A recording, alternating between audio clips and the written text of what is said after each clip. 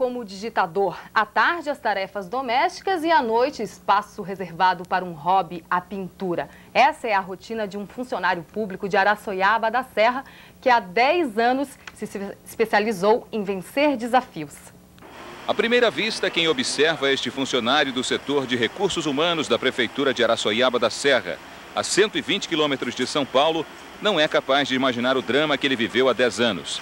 Celso Mascarenhas estava fazendo uma bomba com pólvora de fogos de artifício, quando houve uma explosão e ele perdeu as duas mãos.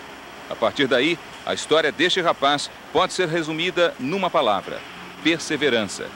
Com as próteses mecânicas, movidas através de um sensor que responde aos estímulos nervosos, Celso conseguiu aos poucos fazer quase tudo que uma pessoa normal faz.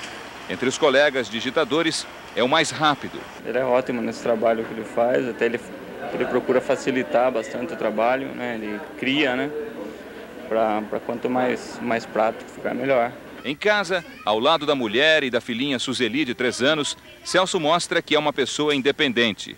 Adora desenhar e pinta quadros de dar inveja a muitos artistas plásticos. Para se ter uma ideia da qualidade do trabalho do Celso, nós trouxemos as pinturas que ele fez para o artista plástico de Sorocaba, Francisco Chanes. Nesse momento, ele está avaliando as pinturas do Celso ele tem uma maneira toda especial de trabalhar não só o plano geral, como os detalhes muito minuciosos que dá essa leitura poética do trabalho. Agora, se eu te dissesse que o Celso é um rapaz que sofreu um acidente quando tinha 18 anos, perdeu as duas mãos e ele trabalha com duas próteses e fez esses, dois, esses três quadros, o que, que você me diria?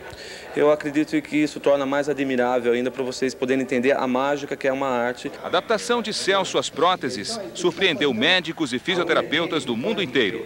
O caso dele serviu de estudo sobre a adaptação de amputados.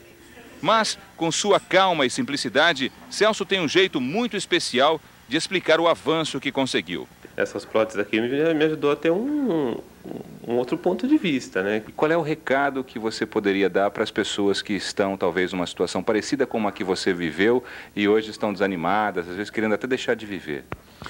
Bom, eu, eu espero que possam ver a minha situação hoje, né? Que talvez quando eu aconteceu o um acidente comigo, eu encarava a vida do mesmo modo que essas pessoas talvez estejam encarando hoje, né? Mas pelo que podem ver hoje, eu hoje, né? Então veio que a vida não termina. Né?